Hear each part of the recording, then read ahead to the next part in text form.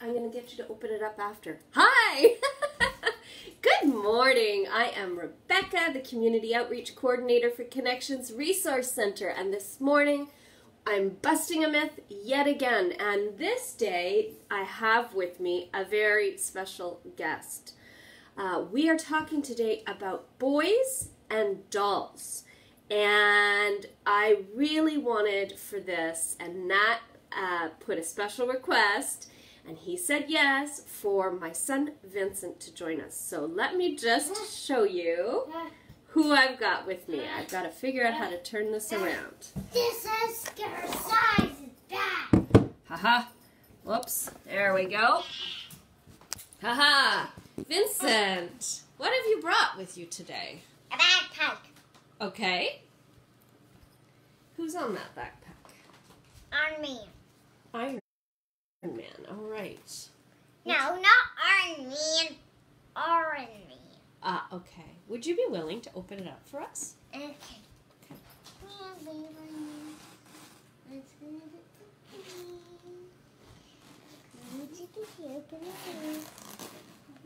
There.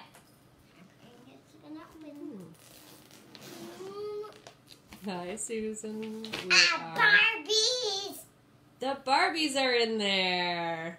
Are you going to play with those while I do my live today? Thank you. Wonderful. Can you show me a little bit? Do you have any actual Barbies in there? Let's see. There's a dad, A dad. Oh, he's naked.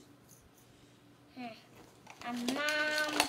Oh, Ah, good. I haven't. Wow, look at her outfit. That's nice. Hair got messed up. Mm-hmm. Do you like these dolls? Yeah, Where'd you get these dolls? from Lily. Lily. And Our wonderful neighbor Lily gave us her collection. She was getting too old for it. And so we got it. So are you going to sit here and play while I do my, my live this morning? Does that sound cool? Ah, her toe. Oh, Her toe is white. I have Benorto. All right. Okay, well, we'll we'll come back to you a bit here. Thank you for joining us today. Did you want to say see you soon? See you soon. All right, let me turn this back around. I'm so lucky. I get my I get to work here at home. That's what I love about working with Connexions. I'm here at home talking about things that matter to our little community and I get to have my boy playing close by. So I'm super lucky. So today we're talking about a myth that continues to persist in our society that for some reason boys should not be playing with dolls. Um, this is a really strange holdover. Just gonna make sure we got some volume here. This is a really strange holdover, I think, from definitions of gender norms that date back quite a long time. Um, that this idea that boys will be boys, they're rough and tumble, that's how they're supposed to be, and that girls are these natural mothers and they're more, um, you know, um gentle and calm and all of these things. And for some, that can be absolutely true. But for others, there are many shades of gray. And you've got, you know, uh, my boy can be super rough and tumble, but at the same time, he does have this capacity to just sit here as he's doing right now and, and get his dolls ready for the day and playing together. So let's tackle this myth today and talk about Sleep, where it comes from. So, right now, I think the primary source of this myth is um, the fact that at some point, uh, advertisers began to realize that children were core consumers. And in, I would say, about the 60s or 70s, they began to advertise directly at kids. Um, and in the 70s, when I was growing up, that could sometimes be a little bit more gender balanced. You know, Lego was for everybody, and Slinkies were for everybody, and um, you know, a lot of the um, like snowsuits that I had were orange or green or whatever. Now, what we're seeing is that um, businesses have recognized that people consume more if they advertise to children um, along gender lines. So you've got your rows and rows of um, girls' toys, and you've got rows and rows of boys' toys, and they're, they're expected to purchase along those lines. So that is why we are still seeing this persisting myth of, um, you know, boys and dolls. So I think it's really important for us to not impose these kinds of gender roles on our boys in particular. I think we need to encourage them to invent their own games. And I think we need to allow both our boys and our girls to play with whatever toys they are drawn to in the toy box and just making sure that there's a good range of toys that we feel fits our value set uh, for our families.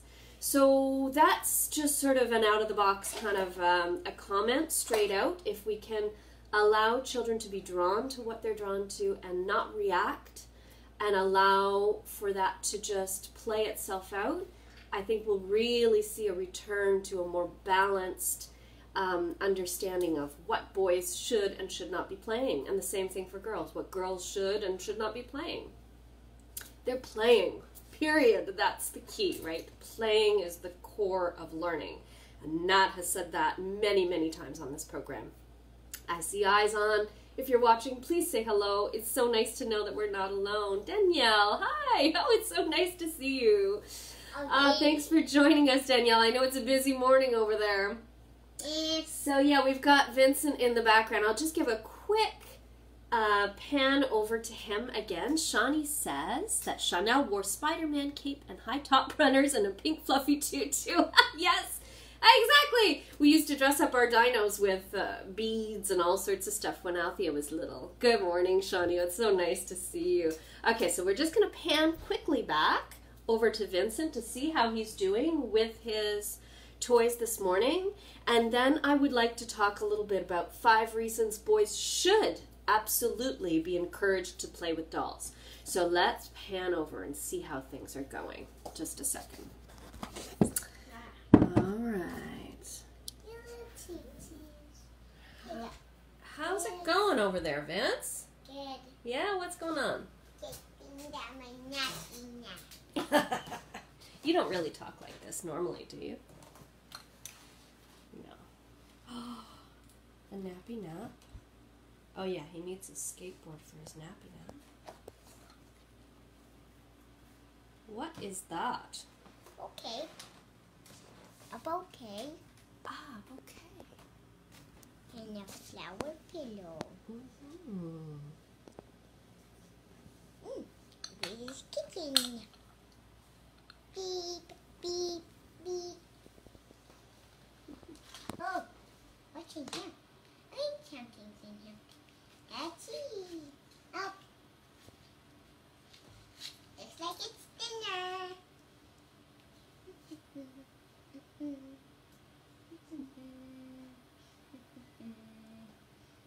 What's for dinner? Hmm, where's all that food? Hmm, no eggs. What's going on with Ken here? Is he all right? I'm a bit worried about him. What happened? I don't know. What's happening to Ken? Oh, right here, this guy. Is he okay, the dad? Yep. You tell us. You're on camera. He's just a little bit scared. He's a bit what? Scared. Scared. Okay, I'll just leave him be. Okay, we'll go back to the live then. I'll let you keep playing. You having fun? Okay. Okay. Now. Okay, here we go. Round again.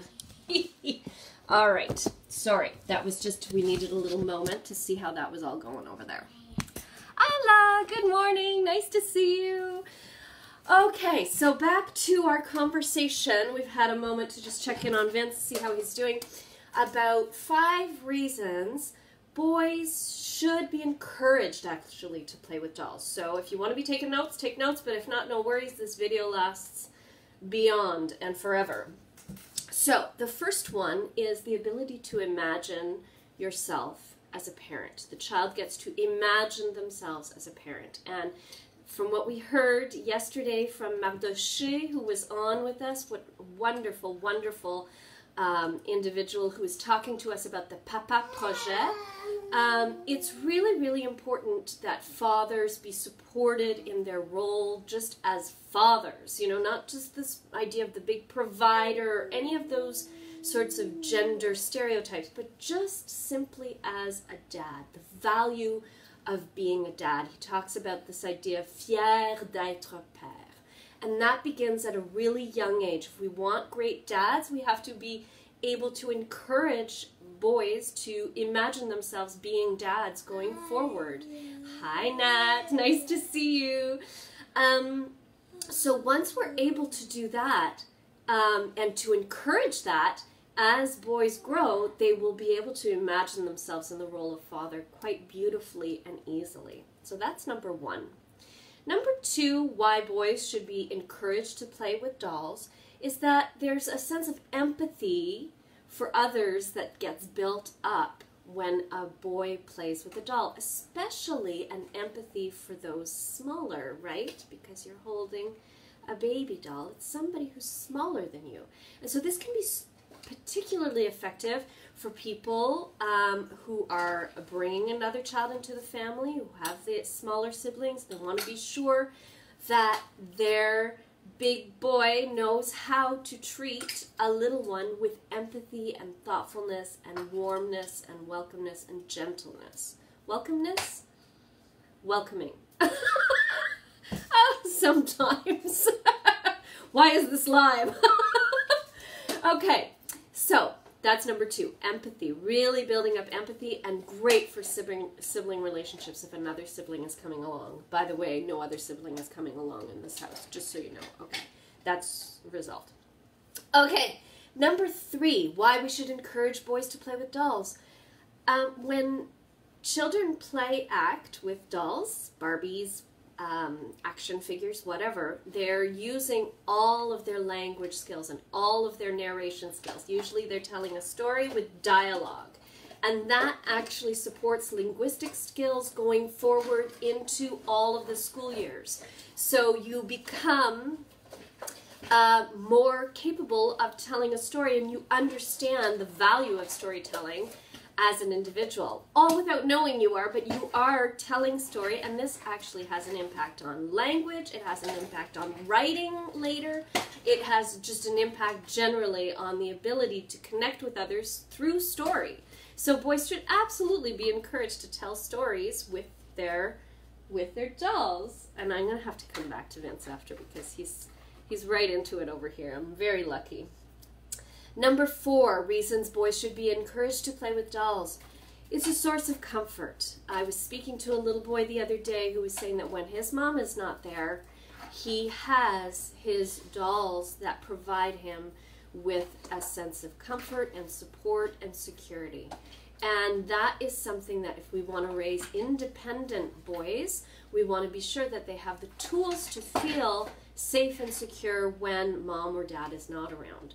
And so having whatever it may be, in uh, my kids' case, it has tended to be uh, blankets, but for many kids, it is a stuffed animal or a doll of some kind that helps them to get through the night or helps them to just spend time alone quietly without mom or dad. And what parent doesn't need that?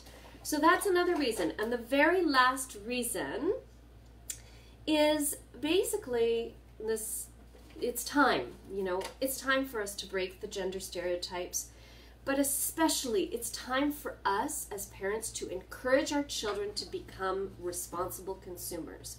We have seen irresponsible consumption. COVID 19 brought out a lot of that right before people were stockpiling things, and it, it brought out the negative consumer in a lot of us. And um, I think the same is true for the gender stereotyping of toys for children. It is a negative consumption. We do it because we feel compelled to do it. We feel it is right to buy the girly stuff for our girls and the and the, the tough, rough stuff for our boys. And that is just it's it, it's time. you know, that has been done. It's time for us to break it and it is our responsibility as their parents to help them break it. So if we can be responsible consumers and build a, a world where our children are responsible consumers, we are on the path. Here's Vince again. What did you want to say, Mr. McGovern? Oh, nothing. You just want to be in it. well, that's it from us. Thank you for joining us today. We will be back tomorrow. We have another awesome day. Tomorrow we have uh, is coming on to talk to us about Dad's Pub Night that he has started in our area um, and the value of fathers getting together. Uh, you know, to grab a drink and to talk about what it is to be a dad, but also just fathers supporting other fathers. And um, I think he's they've called the segment "Fathers and Friendship," and what Um, dad Mom? doesn't need his his buddies. Mom, Yeah. uh, there's some emojis coming out. Do you know what that is? What? That's people loving you. Want to give a thumbs up? See if people give a thumbs up. Anybody giving a thumbs up? Thank you guys. This has been fun. We'll talk to you tomorrow. Bye bye.